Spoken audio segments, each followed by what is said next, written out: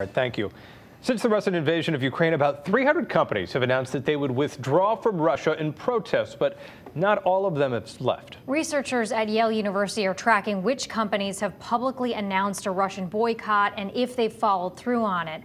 Joining us now to talk about that work and why businesses leaving Russia is important is Professor Jeffrey Sonnenfeld from the Yale School of Management. Thanks so much for joining us, Professor.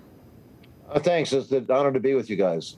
All right, so I just pulled up this article. Uh, in a commentary that you did for Fortune, uh, you compared businesses leaving Russia right now to similar withdrawals from South Africa that happened before racial apartheid ended there. You said in the article, you know, there were some 200 companies that did this in addition to U.S. sanctions and that it was helpful. So, how can you, uh, how do businesses leaving a country like Russia apply pressure to the government? Well, that's a, it's a great question. Uh, there are times where we have uh, tried economic sanctions and they work fitfully, sometimes better than others, but the, they work the best when they work hand in hand with the voluntary, massive uh, uh corporate uh, cooperation, which is what we see in these uh, commercial blockades, these economic blockades by business leaders working in conjunction with the le- the legal governmental sanctions are very effective, and it brings an economy to a standstill.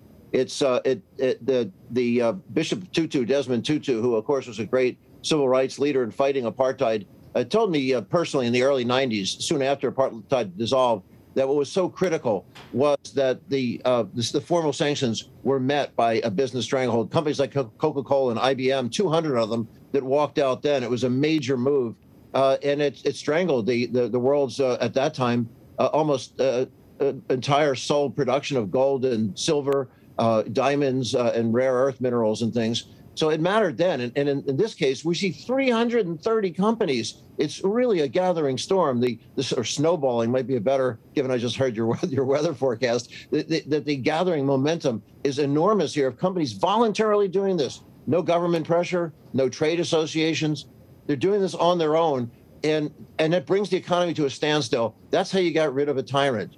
Uh, you get rid of a tyrant either by warfare, by overthrowing their their their brutal, bloody side, or you go after the their view that they control civil society, the way say Gandhi did by bringing India to to a a, a, paralysis, a paralysis, or getting rid of Nicolae Ceausescu in uh, Romania, or Erich uh, uh, Honecker in in um, uh, East Germany. It was when civil society comes to a halt and it shows that the tyrant isn't so all powerful after all. Professor, you know, we see some of these companies announcing that they're making the leaving, leaving Russia entirely, but we're hearing that some of these countries might be quietly, secretly, uh, still having a presence in Russia.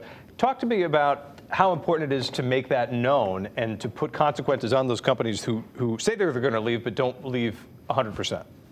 Ben, it's incredible. I, I swear, uh, uh, and I shouldn't be swearing on air, that during the break, I was just typing a nasty gram to a company that was sent me some mealy mouth message for, for us to reclassify them because they're in fact not doing what they purport to be doing.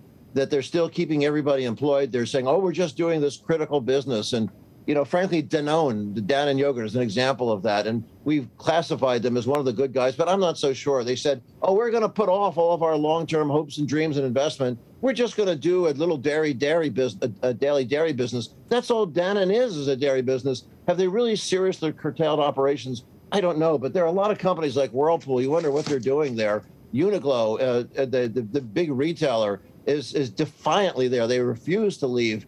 Uh, there are companies like uh, in the drug supplier companies, uh, uh, Bergen, uh, nice people. That why are they staying there?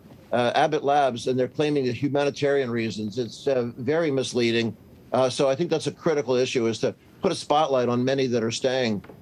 All right, Professor Jeffrey Sonnenfeld from Yale School of Management. Fascinating work you are doing. Thanks for coming on and talking about it. Professor, Thank you very thanks. much.